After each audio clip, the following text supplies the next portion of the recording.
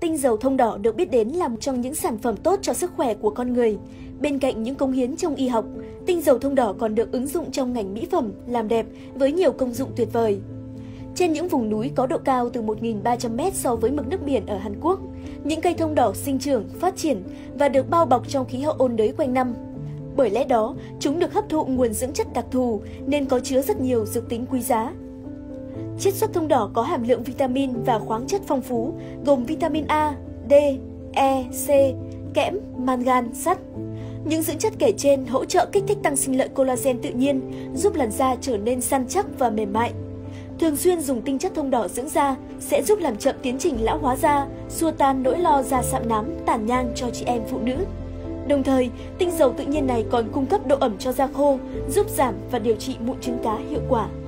Đặc biệt, chiết xuất từ rễ thông đỏ có chứa một số hợp chất quý như oligomeric procyanidin được biết đến như là chất kháng viêm, giảm đau, giảm kích ứng da, chống lão hóa da.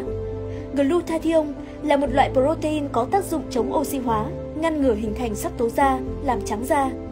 Alpha lipoic acid Alpha lipoic acid được biết đến như một chất chống oxy siêu mạnh, khả năng hồi phục hoạt tính chống oxy hóa của vitamin E, vitamin C, coenzyme Q10, glutathione.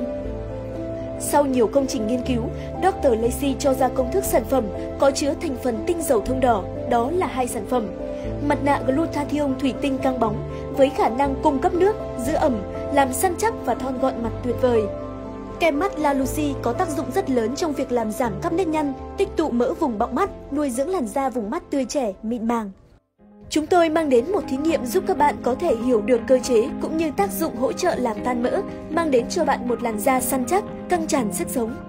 Bước 1. Cho tinh chất viên tinh dầu thông đỏ vào trong cốc nhỏ, có sẵn ít mỡ rán từ động vật.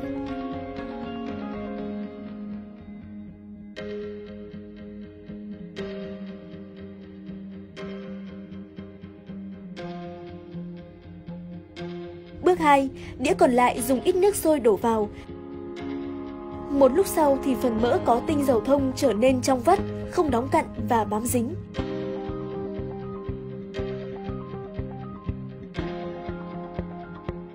Đĩa còn lại dùng ít nước sôi đổ vào thì mỡ tan thành dịch lỏng nổi lanh bềnh, không thể hòa tan trong nước, bám dính khi di chuyển.